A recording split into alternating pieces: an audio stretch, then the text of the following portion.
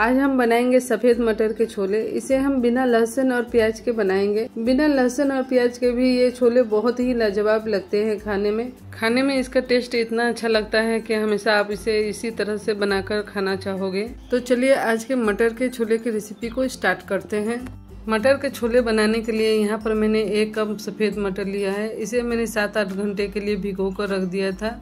मटर अच्छी तरह से फूल गए हैं। मटर को आप चाहें तो ओवरनाइट भिगो कर भी ले सकते हैं। अब इसे क्या करेंगे? दो से तीन बार अच्छी तरह से धोकर इसके पानी को अलग कर देंगे। इसे उबलने के लिए कुकर में डाल देंगे। अब इसमें हम ऐड करेंगे वन फोर टी स्पून हल्दी पाउडर और साथ ही डालेंगे नमक स्वाद के अनुसार। अब इसमें हम पानी डालेंगे तो यहाँ पर हम एक कप मटर के लिए डेढ़ कप पानी का इस्तेमाल करेंगे। पानी डालने के बाद इसे अच्छी तरह से मिला लेंगे और मिलाने के बाद कुकर के ढक्कन को बंद कर देंगे।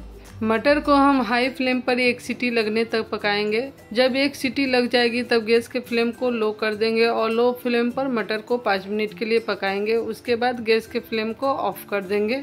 जब तक मटर हमारी पकेगी, तब तक हम आगे की तैयारी कर लेते हैं। दो मीडियम साइज़ के टमाटर को बड़े टुकड़ों में कट करके मिक्सर जार में डाल देंगे।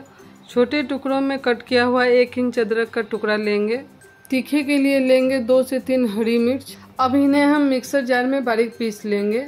मटर के छोले बनाने के लिए सबसे पहले कढ़ाई को गर्म करेंगे। कढ़ाई जब अच्छी तरह से गर्म हो जाएगा, तब इसमें हम डालेंगे चार से पाँच बड़े चम्मच सरसों का तेल। जब तेल अच्छी तरह से गर्म हो जाएगा, तब इसमें हम डालेंगे कुछ साबुत मसाले। तो यहाँ पर मैंने डाला है आधा छोटा चम्मच साबुत जीरा, दो तेज पत्ता दो हरी इलायची। इलायची के मुँह को खोल कर लिया है। दो तीन लौंग और एक इंच अदरक के टुकड़े को लेंगे।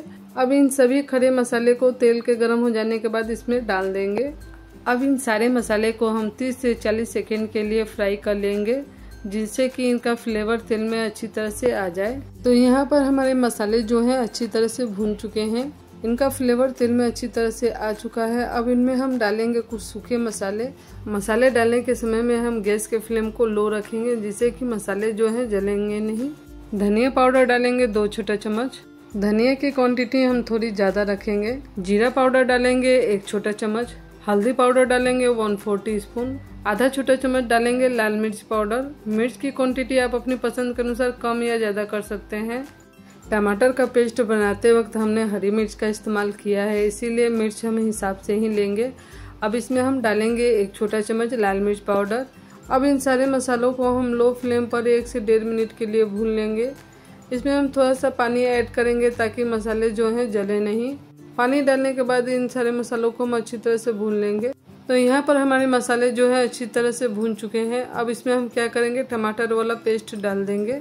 टमाटर वाला पेस्ट डालने के बाद मसाले को हम अच्छी तरह से चला लेंगे। मिक्सर जार में थोड़े से पेस्ट लगे हुए थे, उसे मैंने पानी से खंगाल लिया है। अब इसमें डाल देंगे और डालने के बाद इसे अच्छी तरह से चला लेंगे।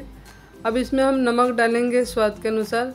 नमक का इस्तेमाल हमने मटर को उबालने के टाइम में भी किया था, इसीलिए नमक का इस्तेमाल हम हिसाब से ही करेंगे। अब इसे हम क्या करेंगे? ढक देंगे और ढक कर इसे लो फ्लेम पर पाँच से छः मिनट के लिए पकाएँगे ताकि टमाटर जो है अच्छी तरह से पक जाए।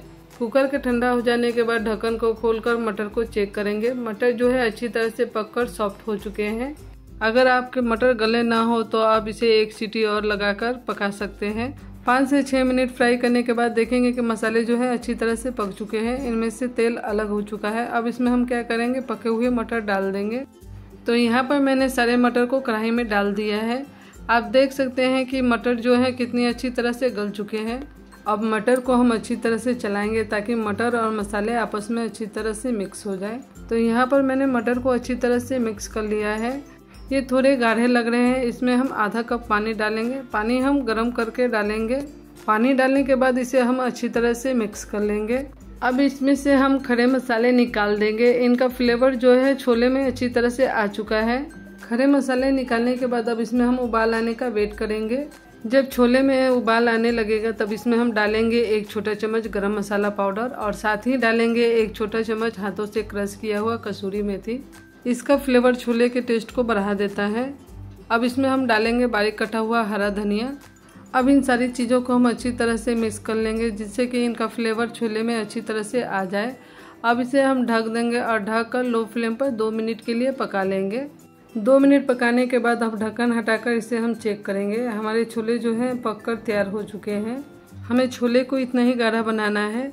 आप अपनी ज़रूरत के अनुसार इसमें कम या ज़्यादा पानी डाल सकते हैं। पर ठंडा हो जाने के बाद यह और गाढ़ी हो जाएगी। आप जब भी इसमें पानी डालिएगा तो पानी को गर्म करके तब डालिएगा। अब इसका कलर और टेक्सचर देख सकते हैं कि ये कितना लाजवाब बन के तैयार हुआ है।